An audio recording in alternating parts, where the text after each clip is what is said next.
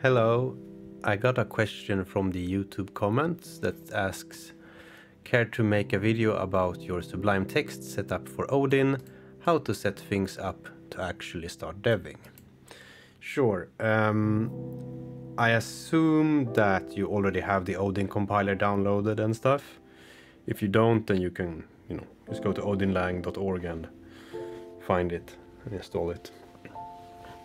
Now, when you have a Sublime Text set up, then the first thing you will want is some kind of build tool in Sublime.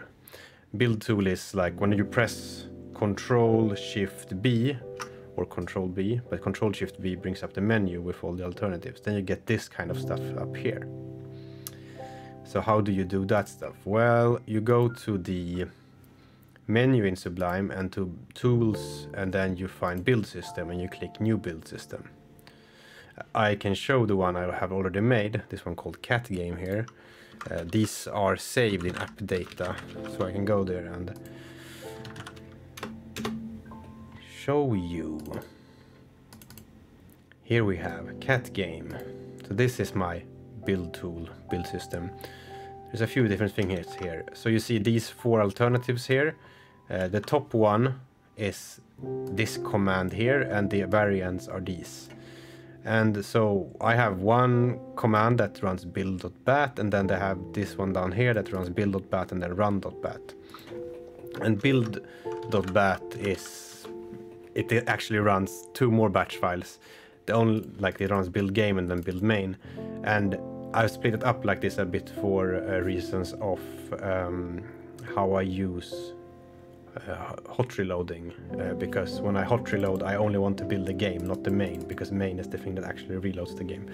Uh, and then you get errors if you rebuild both. But that's the reason I've done it like this. Uh, but build game in, in, in, in turn just builds with the Odin compiler. Uh, I have you if you download Odin compiler you probably put it in your path. I have it inside my repository in a subfolder but you know you do however you want and then it's all the uh, build options for that. Just a single command, and if you do build build a dot like this, then it builds the whole package in in the in this current folder. Um, good thing when you're de de de uh, developing your sort of debug build is to put put in the the debug flag here at the end uh, on your uh, Odin compiler uh, call. Uh, so we have the different variants. An important thing here is of course the file regex. What this one does is that it, whenever you do an error, you can press F4 in Sublime to jump to the next error. So if I make an error here, I say hello, which is a proc that does not exist, and I press the compile button, F7 or Control B will compile, and Control Shift B, like I said, will bring up the menu. But Control B and F7 does the same thing, and it runs the, the most recent one of these ones. Uh, but now you see that it says undeclared name hello, and you press F4 and it jumps there. And it does that thanks to the file regex here. I will post this Sublime build file in the uh, description, a link to it in the description of this video. So that's pretty important. Another important thing in your Sublime setup is to have, I pressed Control KB here, that brings up the folder the sidebar here with the folders. These are the folders that's in the current workspace or project or whatever you want to call it. One is for my game. The other ones I have in here is Raylib, Core, and examples. And the reason we have Raylib and Core uh, there is that if I go back here and I find a line, a line that get mouse position, okay, then I can press F12 and it jumps to the Raylib bindings that I have uh, in there. Uh, so I can, you know, jump to symbols. And I can also press Control Shift R to search in all my folders and files for symbols. So I can do like print, and then I find, you know, in um, yeah, stuff like this in the standard library. Um, and as for as for like when you build with Odin, you saw you had I had the batch files pretty simple build command. The reason it doesn't need lots of, you know, library linker flags and stuff is because, well, one of the few libraries I use is Raylib, and Odin comes with uh, Raylib binding. So if we look in, uh, if we look in my Odin folder here, there is a vendor folder and then there's a Raylib folder and here are the bindings. And these actually also come with the .lib and DLL things. So if we look in raylib.odin at the top, then you will see that it actually uh, will pull in these lib files while it is building if you have this line here. So in that way you can have very simple build commands because the the libraries get pulled in automatically for you. So that's it's it's not much more than that. It's just have a simple build system, Sublime build system that runs a batch file, runs your Odin compiler, and then uh, in my case Raylib, the Raylib bindings take care of pulling in all the lib files. What I can say about debuggers and stuff, since I, I you know, you can actually do all this without Visual Studio installed even.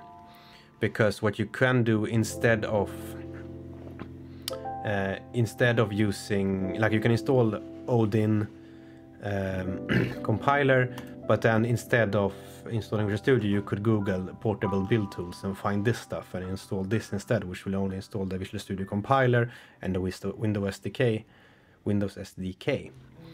Uh, but in that case, you have no debugger. But the Visual Studio debugger I don't like much anyways.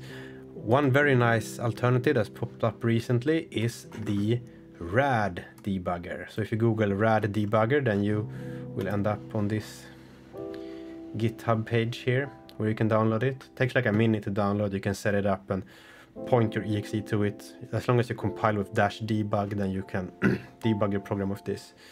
And you know, I like I have another video on code hot reloading, and one annoying thing with hot reloading is that it doesn't work with Visual Studio when the debugger is attached because the PDBs get locked. But this debugger actually uh, seems to generate its own sort of uh, equivalent to PDBs from the data that the compiler outputs, so it actually sort of copies it in some way or something like that. So uh, you can have your debugger attached hot reload and everything just works. So that's very nice. And finally, I would say about the workflow when working with Odin, I would say whenever you're confused about anything, what you should try is first you go to the overview, you Google Odin overview and you get to this page. You search around in here, try to find answers. If you can't find answers in there, then you see I had my game here and Raylib and Core and I also had examples folder. That's actually just a folder from also from the Odin compiler, this one. That one contains, now I jump to file, control P, demo.odin, uh, demo.odin. This one is like a demo file that showcases many of the language's features. In here you can also find lots of answers. If you can't find any answers there, then I would recommend you, since you have the core folder and the uh, inside your project then you can just control shift R jump to symbol maybe you're looking for uh, OS open or something or like yeah maybe you're looking for a function called open oh and then like okay in OS mm, Windows file Windows okay here maybe maybe this is what you want or something you can also you know search in the whole in all the files including the core folder and the core library, the standard library is very well written and very easy to understand. So you can learn a lot about the language from reading the standard library. And if you still can't find what you're looking for, then I would recommend you hop onto the Odin Discord server. And on there, there's a hashtag beginners channel. Why do I say hashtag beginners channel? There's a beginners channel um, where you can get answers to many beginner questions and it's a very many helpful people in there. So that's it for my Sublime Odin setup really. And uh, thanks for your question and I'll see you in the next video. Bye.